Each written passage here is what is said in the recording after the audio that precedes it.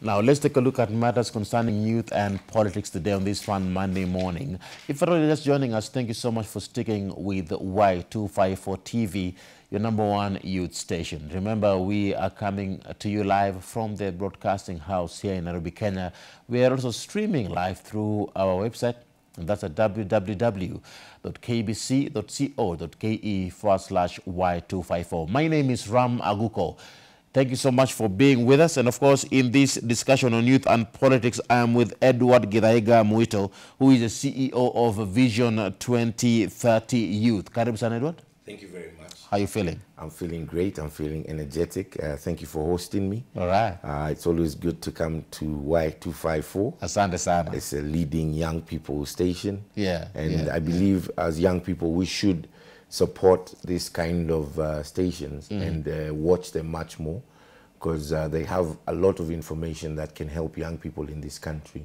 Thank you. Thank you so much. Thank you so much. I, I appreciate it. And uh, wow, umetupatia. Thank you so much. And, and, and, and, and remember, uh, from wherever you are watching us from home, the hashtag you can use on Twitter is uh, uh, why in the why in the morning. That is the hashtag why in the morning. Tag me at Ram Aguko. The official station handle is at Y254 channel. Head over to our Facebook page also and participate on our Facebook platform. We have the question of the day that has been posted on the page. Like the page, follow us on our, those particular pla- platforms, and uh, of course, feel free to let us know where you're watching us from. This is Youth and Politics. Let's take a look at what has been taking center stage in uh, in the nation. First things first, Edward. Yes. Um, before we, we touch on matters concerning youth, uh, politics, Vision 2030 Youth, what is Yes. that all about?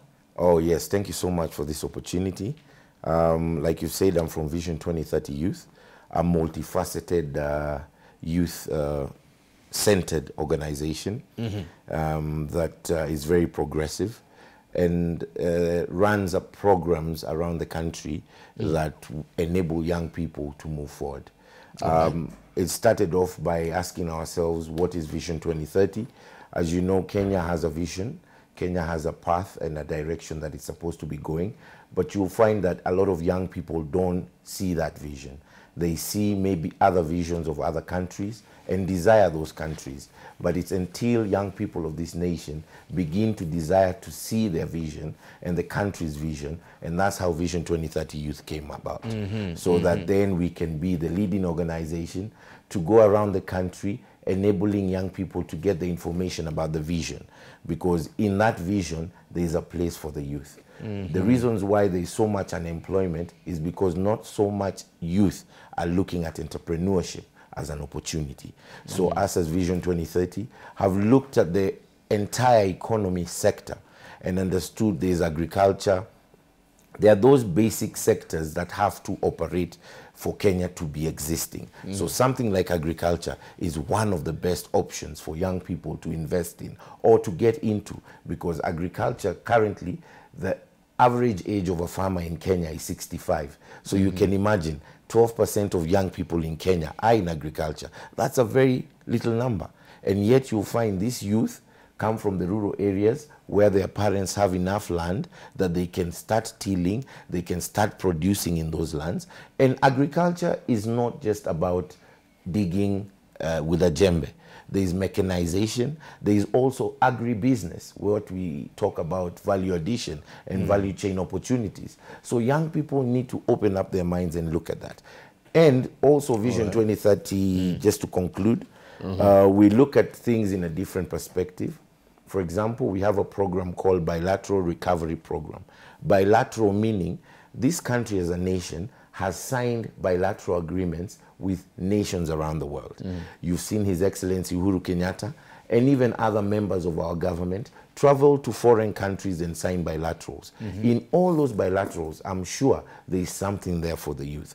so we as Vision 2030 have looked at WTO, UNCTAD, TICAD, all those uh, institutions that have come to Kenya to enable Kenya stand up and lift up its capacity. We believe by creating that awareness and enabling the youth to demand right. for those agreements so that they can find their future. All right, all right. Thank you so much. Um, that is a Vision 2030 youth. Youth, yeah. Uh, um, uh, and, and of course, I love the fact that you, you you're targeting the young people of of, of this country uh, to empower them in regards to that particular area. Yes. Um, and, and, and keep doing what you're doing. Let's and let's let's talk about matters concerning the nation. And I'd like sure. to hear your your thoughts in regards to this mm -hmm. because the stage has been set for uh, an epic battle yes. at the Supreme Court. Yes. We are looking at a scenario where we're going to see um, the Azimio uh, uh, uh, lawyers mm -hmm. going to the Supreme Court. Mm -hmm. And of course, this is a petition that uh, is going to be filed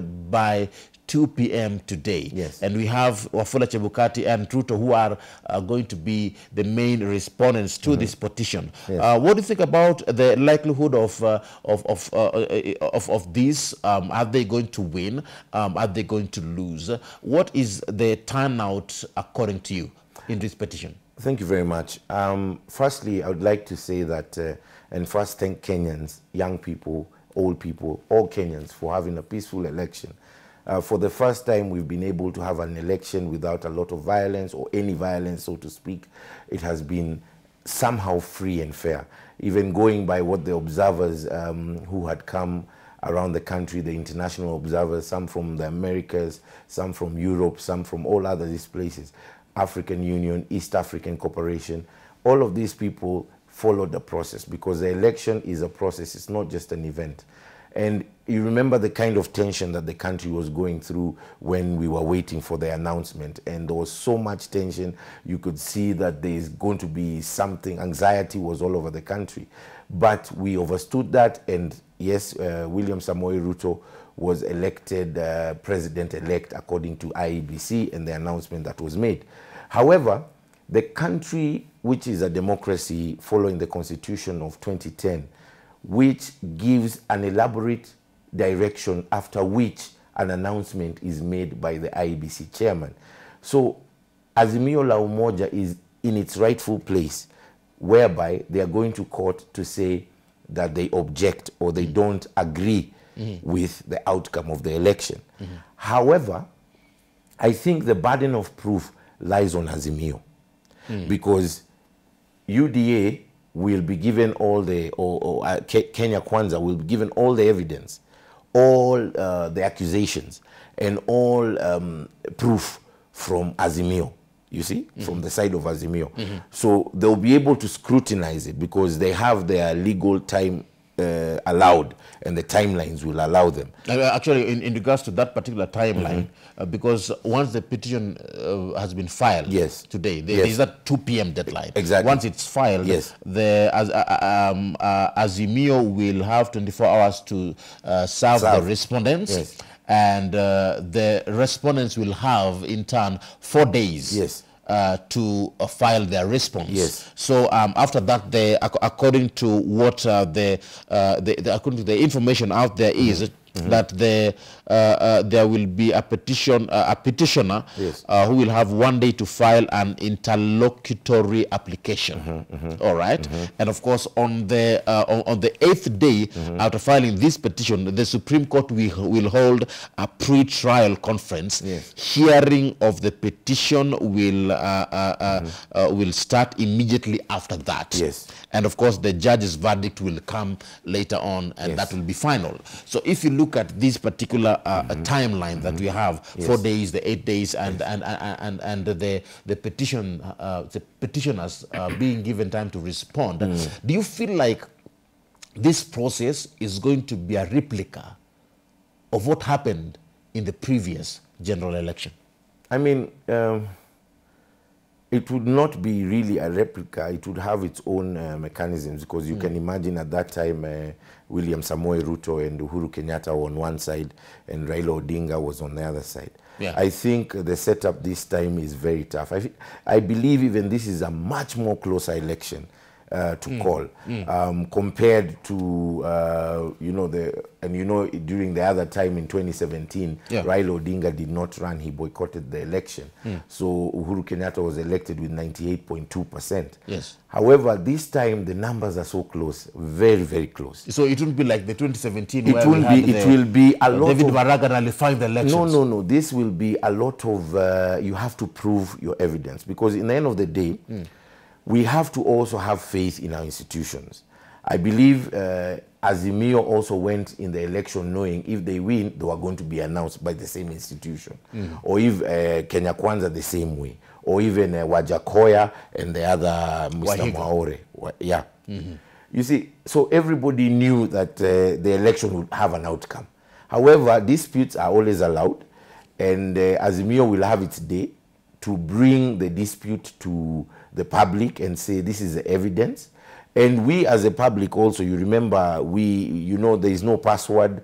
Um, I believe the, the the system that IBC had put in place because we have uh, many MPs elected, we have many MCAs elected, we have many senators elected, 48, 47 county women rep elected, and we haven't had of any polling station uh, drama. We haven't really heard of any matters that happened during the polling station or during the election period. This is now post election where we are hearing that there might have been some anomalies and you know, even uh, globally, uh, it's recognized in the world. There's no perfect election in the world. So this is going to be a grand battle. I believe uh, the battle is here. But the battle doesn't end there. In the end of the day, you know the, the power that is um, given unto the Supreme Court. Uh, the Supreme Court has power to either nullify the election or accept it was free and fair. So mm. once it nullified, you know what happened in 2017, yeah. there's a re-election. Mm -hmm. So that is probably going to be the outcome. But uh, we will see. I don't want to jump my gun because I haven't seen the evidence provided for by Azimio. But once we see them, because they're the complainant, then we'll be able to uh, make a sober decision, even as a nation. even as a nation. Yes. And, and, and, and, and I love what you're saying here because at the end of the day, as a nation, we are looking forward to having something that uh, is going to uh, uh, uh, take the country forward in terms of matters concerning peace.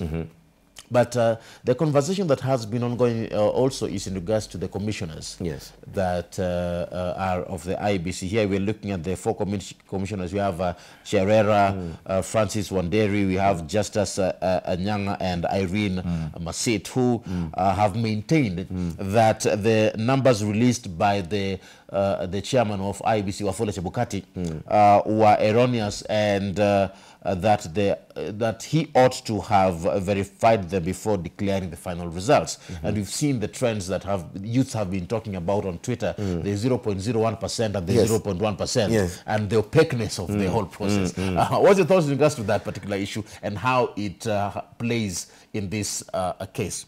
Um, I don't want to seem biased, but for example, take a company, it has board members.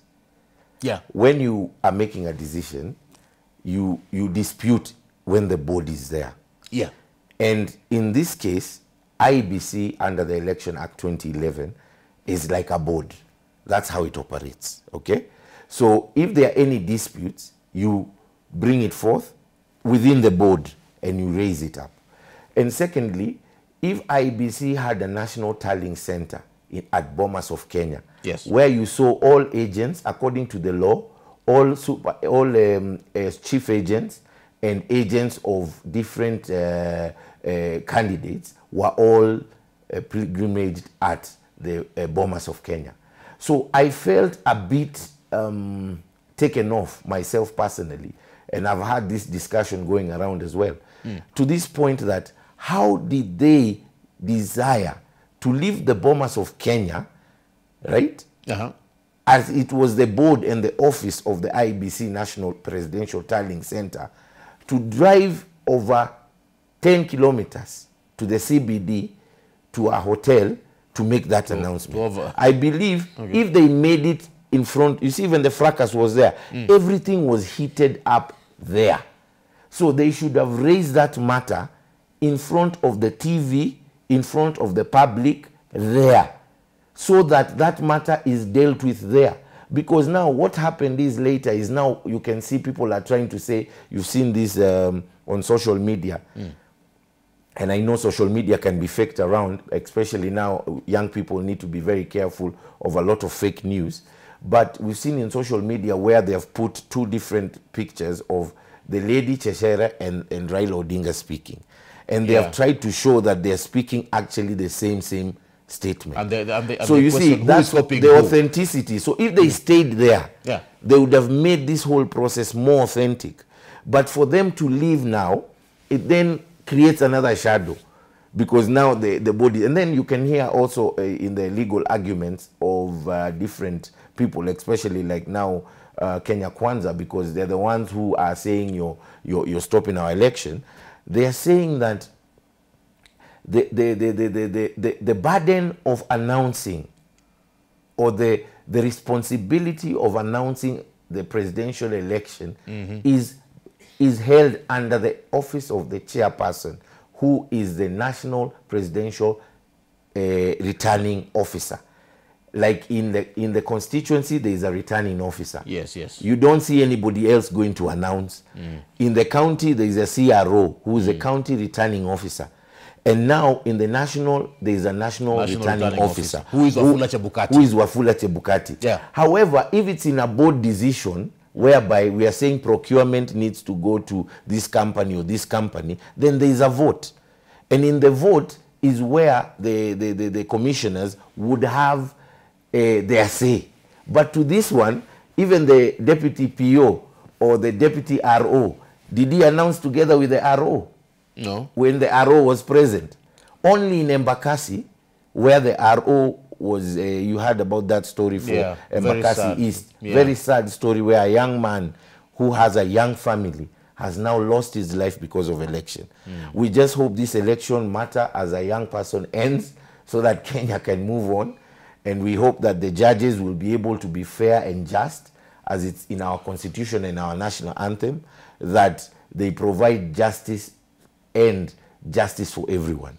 And, and I'm looking at the IEBC, and it, it has had um, a very long past or history of um, commissioners resigning, Yes. especially during the election period, either before, during, or after. And uh, this, the, the, the, this has brought about to you know the questions being raised about the um, uh, the, the stability of this particular institution. Um, the division with, within the commission that led to the four commissioners uh, to call for that particular press conference that you've just highlighted to disown this particular result for the el- election is also likely to feature in this particular case. I know, I, I, I, I believe so. Yes. And uh, by yesterday, it was still not clear if the four, who include co- uh, uh, uh, uh, the uh, commission vice uh, chairperson Juliana Cherera, would appear as respondents or witnesses. But now I'm looking at the longevity of the IEBC. Do you feel like it's going to uh, last to the point that it will come and, uh, and, and, and see through the next general election? I know this, I'm, I'm I'm looking at the future here I think of the commission. Yes, uh, that's a very good question and a very permanent question to Kenyans. Because, for example, we are business people Yeah. as young people, we trade. But immediately we talked about two months to election. If you are having business of exporting your, your fruits or your, your vegetables abroad, mm. you are told now, we, we are not buying now from Kenya Yeah. because of instability. Mm -hmm. If you had a business transaction with a foreigner who had come to this country, they closed down their companies and they said minimum uh, engagement. Okay? And this also follows down to even businesses closing down. You saw even during that period of election, a lot of businesses had closed down. And I thank even the government, current government, for trying to uh, bring back normalcy, you know, which is very important. However, I believe that uh, the, the IEBC commissioners and their, their stand, which under the constitution have their right to oppose, they have their right to speak their, their, what they feel is, is their opinion. And indeed, uh, don't believe even Chebukati has a right to stop them from saying that. However, I would like uh, a, a clear process. We would like a clear process of uh, engagement because if they are chosen as witnesses, then it might even look biased. You understand? Because as a witness, a witness and you are part of the, The commission. the commission. And you've taken the oath of secrecy. You've taken the oath of uh, allegiance or whatever the oath you know they don't take even the normal oath. They take their own oaths because these are independent offices uh, established under the constitution 2010 so there is we need to be very careful. But however it is good for Kenya's democracy to experience this because once and for all, we will know what the process was. And better off this time, there is no mystery like a password. You remember about the server, the issue Yeah. about the server. The server not being At least this time, you know, eh, the server being not open or not closed, this time we have a portal. So everything is within the portal. Will will this commission, the IEBC, last to the point that it sees through to the next general election in 2027? In your view, in my view, any person who will come in will want to change it, be it Raila Odinga or be it William Ruto, because, or even the people of Kenya. You know, in the end of the day, uh, if we elect a president, and and I know the constitution says the sovereignty of the nation lies with the people, that doesn't mean because we've given our sovereignty or they have borrowed a bit of it, that means that we as Kenyans don't have our own civil rights. We have civil rights, and we as Kenyans, if we feel aggrieved against the IBC or we feel that there needs to be more reform, that process has to continue. so so so, so but one thing, one thing you have to give credit yeah. one thing you have to give credit to this IBC. Unlike the last time which the IBC ran the election, in many quarters and in all quarters, you could hear of praises of how the IBC ran the election. Mm. Only perhaps at this final time where there is this issue which has been raised. But the IBC, everybody in Kenya, because even the way they managed uh, the whole process. the whole process. This time was very unique. Imagine uh, there was a choir There was a choir. there was a choir eh, when uh, akina nani were bashing uh, IBC officials. there was a choir singing for us, so you could see the positive energy. And uh, I believe Chebukati tried his level best. It's not an easy job. You mm. remember Kivuito? He was called Mr. Kivuito. yeah. You remember what he is Ki- Kivuito? Eh? Yeah, Kivuito. Yeah, you remember the kind of stress the, the, the Mzee went through mm. just because of that election. Election mm. is not the end of life. -hmm. And I believe Kenyans have proved to the world in Africa and all over that you don't have to fight because of an election. Election is just the freedom of expression, freedom of association, freedom of political engagement. It's not a matter of life and death. I, I, I love what you said, and I, I saw a particular meme online mm. when somebody was uh, making a joke Yes. about uh, if you are to apply for a job interview mm. and you're to say that uh, you can work under pressure, you can indicate clearly, for example, I was at the choir at Bomas. Yes. yes, I mean that that one is uh, the choir at Bomas is uh, is a very spiritual choir. I believe uh, they held their um, their cool. They had their cool. Yeah. Throughout that whole process. Throughout the whole process, and uh, I believe that's the spirit of Kenya.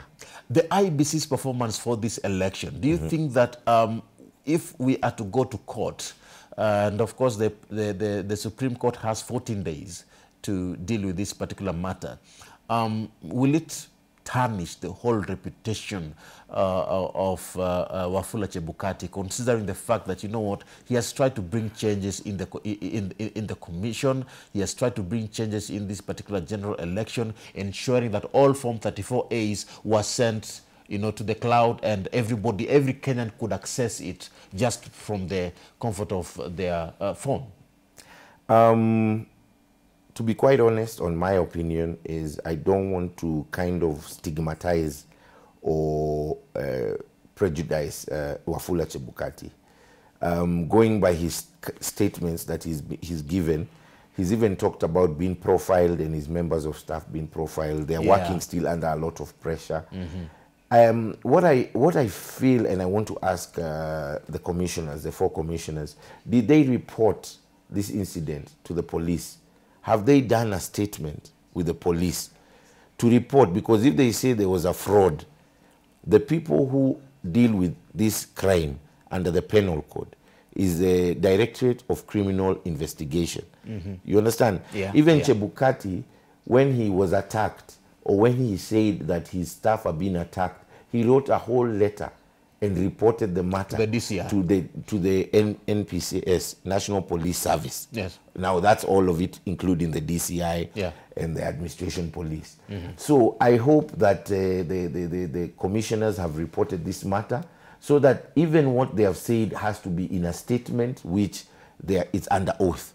So that it's not, you know, right now what we are seeing a lot from the commissioners is, is social media statements and uh, news statements. Irrespective of that, we need to see a signed statement which is uh, certified by a by an affidavit saying that is, this is my true standing, and that will all be done when we go to court. Now, um, uh, interestingly, even as we talk about these matters concerning the court, Hmm. um, the President-elect William Ruto Yes. um, has been making statements in regards to um, uh, uh, planning for the future. And he said this, and I quote, that for the first time. Yes. they have not planned demonstrations or other undesirable acts. This is a good way to start growing our young democracy in the right direction. Mm-hmm. This is what DP Ruto said. What is what's your, thought, your, thought in regards to that? Because he also thanked President Uhuru Kenyatta and promised to carry on Mm. from where he lives. And he said this that he will have his respect and enjoy his space. This is the DP Ruto uh, talking about uh, uh, Uhuru Kenyatta. I- uh, this is the president, president elect, elect. Yes, So, yes, yeah, yes. and he said he will have his respect and enjoy his space, and I am going to continue from where he will have left. Yes, I think that's statesman. That's statesmanly, uh, because irrespective of what people may say, and irrespective of what people's views, private or public, um, it's still there as a fact. And I, I'm glad you corrected yourself because he hasn't been sworn in. Yeah. But it's still there as a fact that William Ruto is a president-elect, and his stature and his uh, demeanor has changed because obviously you saw even his security was enhanced. Um, he's uh, he's gotten uh, various uh, ac- acknowledgements and various uh, congratulations from various uh, states all over Africa and in the world Mm -hmm. and therefore it's important and prime for him to behave as such Yeah. as a president as a president elect and it was a good uh, show of uh, olive branch to his excellency uhuru kenyatta and uh, seeking the president and saying that we will look after you and your interest will be looked after mm -hmm. and saying mm -hmm. like kind of an olive branch and saying the election has ended Yeah. um, irrespective of there being a petition, uh, life has to go on. And we are going to continue. And we are going to continue. And, and, and the constitution also left. and it's not even William Ruto himself. Mm-hmm. I saw that yesterday when uh, Gashagwa, in one of the state, uh, one of the uh, appearances that they made in Kiambu in Gedongori, Yeah. when uh, Waitito said uh, that uh, he seemed like he wanted to be vengeant ag- against uh, uh, Uhuru Kenyatta. No, Uhuru Kenyatta is a respected African statesman, and I'm happy that even Gashagwa corrected uh, uh, Waitito and told him that we cannot have that bad politics. In, during a competition, people say a lot of things, but once the competition is over, we have to make peace and the country has to continue. Yeah, yeah, So yeah. I do really, really congratulate William Ruto for for the things that he said. Yes. And, and, and he, he, he pledged to revive projects worth 500 billion Kenya shillings. This is William Ruto. He, and uh, uh, uh, he said that these projects had stalled and he pledged to revive them. He also promised that no part of the country will be sidelined by his administration. I think, uh, to be very honest and to be fair to the to the gentleman, Yeah. he had a vision and uh, he demonstrated very well um, in the period and uh, he provided a manifesto. And i believe he went around the country with his team to do what is called economic forums county economic forums or regional economic forums to find out what ails the, the community and society in its own diversity I believe even uh, he has the Nyanza one, he has the different areas. And therefore, he, he, he, he, he's simply saying what he's going to do in his vision. And uh, even if it was Raila Odinga, whom we respect a lot, um, Right Honorable Raila Odinga, even him, he would have been saying the same. So it's, it's, we shouldn't look at it in any negative way. Yeah. Uh, we should actually be saying, wow, if one of them can do it, if William Ruto can do it mm. and make that happen and put a cent in someone's pocket and, and change someone's life and uplift and, and, and, and enable young people in this country, like our organization, what mm. we stand for. Yeah. For example, like the SMEs, we're very, very dear about SMEs. We have a program called Student SME Program mm-hmm. if you look at the rate of unemployment in this country, it's above 60%. And who are these? Okay, those who have not gone to high, uh, high school or, or tertiary education, mm. you rank them or demograph them as underemployed. You understand? Yeah, There's I a category there get you, called underemployed Uh-huh. because they have not had to go to school and they have not had the opportunity to, I'm not saying it in a bad way, but according to the statistics. Then you Yeah, have be- be- because the, okay, that, that's where you can place them. Yes. Yeah. Then you have the unemployed. The unemployed are those who are meant to have been having had employment. Yes. Because they went to school, they got a degree, they got the skills, but they don't have a job. So those are your unemployed. So 60% of these unemployed people who are the students, us as Vision 2030 Youth have a program which we're partnering with various universities in this country to raise the consciousness of these students who are in university today so that they can then start appreciating entrepreneurship. Say, if you're a lawyer, the basic need to start a company in Kenya is a business name. Mm. Like if you can have the Business Name Act, Yeah. it's the most basic form of a company Yes. which you can start yourself. So you can even start a paralegal company while you're still in school.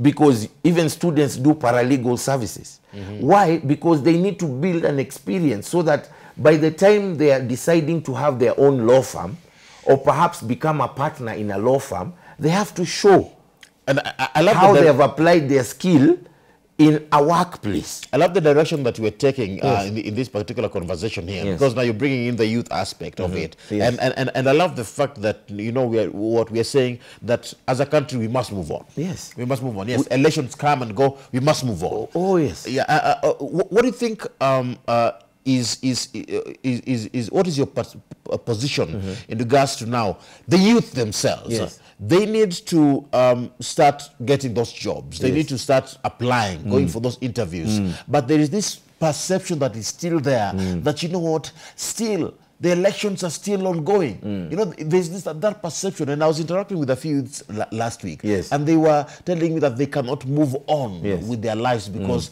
they are either too excited about the president elect or too disappointed about uh, uh, uh, about the, the petition. Yes. Which way for the youth? youth, I speak to you personally and call upon you to listen to yourself. Every young person in this country has a need. One, what are those basic needs? Any young person who's above 21, 25 probably is living on their own. Mm-hmm. They have to pay rent. Those same youth in that house they are living in probably have a young family. They have to feed their family. They have to clothe their family. Those same youth there, in order to clothe or feed their family, they need energy, electricity, they need gas, they need um, kerosene or whatever it is they're using. Even just to leave the house and go to the streets, that youth needs fare. That youth needs transport money. So I believe youth need to wake up. This is a wake up call. Let us take advantage of this opportunity. We have just come from a difficult part of COVID 19. Most of the young people's businesses, because young people hardly save, young people hardly have savings because they live hand to mouth. Many countries in the world that have succeeded were not built by the old generation. They were built by young people who decided to make a choice. Mm. And that choice you've already made politically, it's out of your hands. But the choice that remains in your hands is you need to feed your family. You need to clothe yourself. So find out and figure out and not reinventing the wheel. Getting into entrepreneurship. Getting out there looking for those jobs again Exactly. engaging in positive peer mentorship, not sitting at home, lagging, watching TV. Go out there and look for a skill. Right now, there are many TVETs under the Jubilee government, never like any other government before, that they built TVETs all over the country. Mm-hmm. TVET was a solution that I believe was brought about, for example, in the, if you all know about the geopolitics, I'll be very short with this. I'll take you all the way to North America. Mm-hmm. In the 1930s, after the First World War, North America was like Kenya. Mm. Today, Kenya is facing an economic depression. Mm-hmm. Agree or don't agree, mm-hmm. it is a fact. 80%, 70% of our people live in abject poverty. And this is- this is where North America was. Yes, this is where Back. it was back then. Back then. But I always say my best president of America after Obama, who is our Kenyan, the best was Franklin D. Roosevelt to me. He came up with various programs that changed the America. So, so, so, so and created employment for the youth, created creative economy like Hollywood, mm-hmm. created an